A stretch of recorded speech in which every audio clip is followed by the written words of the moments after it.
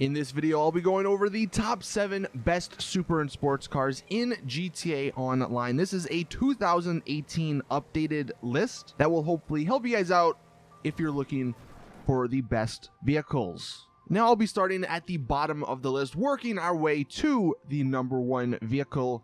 But at number 7, we have the best four door sports vehicle. Now, this was a tough decision for me between two vehicles the Coil Raiden and the Pfister Neon. The Coil Raiden is an electric car that has four doors, and it is insanely quick and it handles really good. Comparing it to the Pfister Neon, they are almost identical. They have very similar price tags, they have very similar performance stats, and they are both electric four door sports vehicles. But ultimately, I had to give this one to the Pfister Neon solely because of the looks. Now, I know looks are subjective, but the Pfister Neon may be the best looking car in GTA Online. And even though the Coil Raiden and the Neon have similar stats and are overall the same, personally, I just have more fun driving around the Pfister Neon.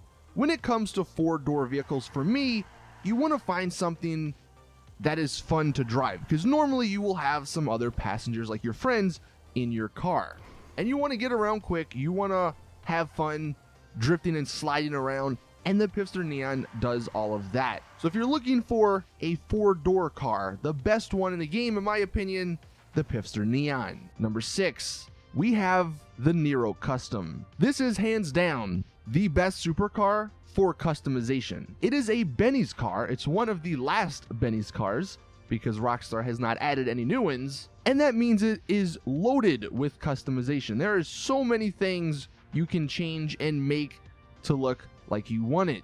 But in addition to that customization, this vehicle, the Nero Custom, has one of the fastest top speeds in the game. And that actually makes it perfect for stunt racing. Not sure how many people still race or stunt race, but if you do still do that sort of stuff, the Nero Custom is amazing for those long stretches of road. Its handling is decent, it's nothing great, but it's also not bad, and the acceleration is similar. But the reason you would want to buy the Nero Custom is for that insane top speed and the insane customization. Next at number 5, we have the Overflod Autarch. This is one of the new Doomsday vehicles, and I'm putting it on the list for two reasons. Number one, it is one of the most unique looking supercars in the game. It's almost the successor to the RE7B in that this vehicle is, it looks more like a racing car instead of an actual supercar.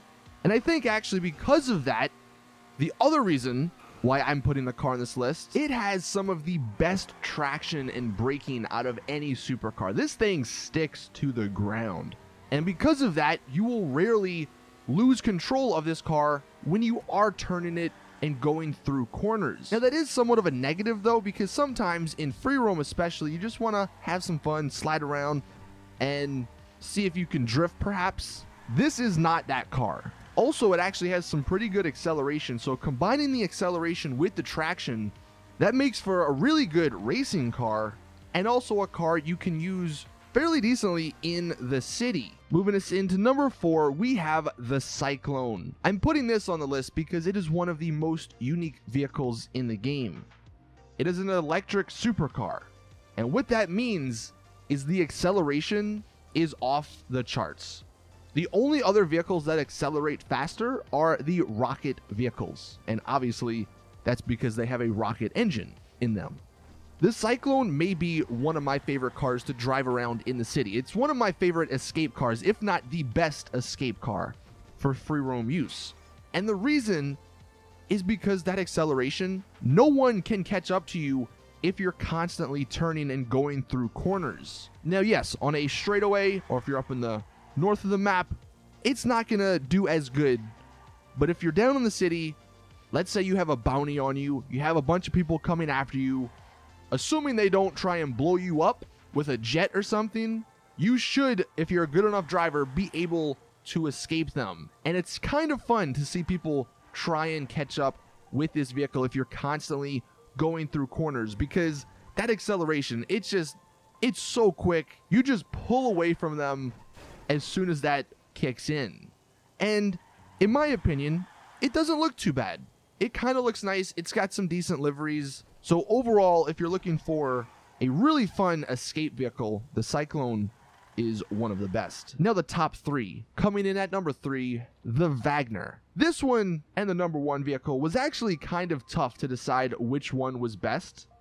And honestly, I think both of them could be swapped out for one another.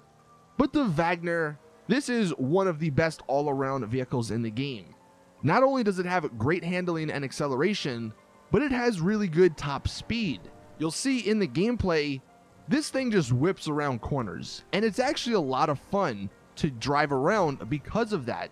And also because of that, it is one of the best, if not the best, supercars for racing. The top speed is just a little bit below that Nero custom I showed you guys earlier, and the handling I think is a good blend between the Autarch and some of the other supercars. The Wagner has good traction, but not great like the Autarch. And I think that's actually more fun because sometimes you will slide around. Now that can be annoying if you're trying to be super serious and all that, but overall the Wagner is just one of the best supercars in the game. And I haven't talked about price tags too much, but compared to the number one car, it's actually a little bit cheaper. So that may also play into if you want to buy it or not. But the Wagner, you will not go wrong if you purchase it. Now at number two, we have a sports car. This is a good old Rockstar logic for you, but the Pariah. The Pariah is a sports car that should be a supercar. This thing beats almost all supercars in racing, in top speed, I thought Rockstar would patch this or fix it, but it looks like they're not going to, so we're just going to have to deal with the Pariah completely breaking the sports class. If you even want to compete in a race, you need this car. If you want to have some fun in free roam with a sports car, then this is the best one to do it in. It's got some of the best acceleration, some of the best handling, and the best top speed out of the sports cars. It I really don't know what Rockstar were thinking when they did this. The one negative that I have personally with this car is I don't really like the looks of it. But if you can get past the looks, this is a must own if you want to even think about doing anything really in sports vehicles. And one thing to note if you're watching this video when it goes live, up until Monday, I believe, the Ocelot Pariah and then the number one car, the XA21, both are 30% off. So you can get them for a little cheaper. But moving into number one, we have the Ocelot XA21. Personally, this is my favorite supercar in the game. But like I said, it is tough to, to decide between this one and the Wagner. Ultimately, I put this one at number one because I like the looks of it and the customization a lot more. But both are fantastic vehicles. Now the XA21, why is it so good? It's probably the best all-around vehicle. It's got really good acceleration, really good top speed, really good handling, really good customization, really good engine sounds, really good looks. It's just a really, really good vehicle.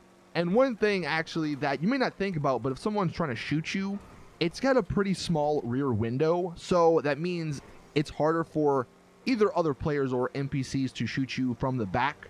So that's another benefit in free roam. But the XA21 is just so much fun.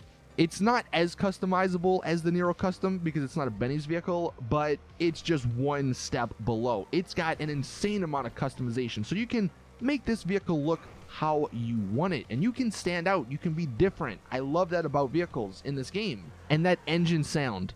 It's such a small thing but when you're driving these vehicles around most of the time most of them sound the same. So you don't ever notice it. But when you drive the xa21 you notice that different and really great engine sound, and that just makes me love this car even more.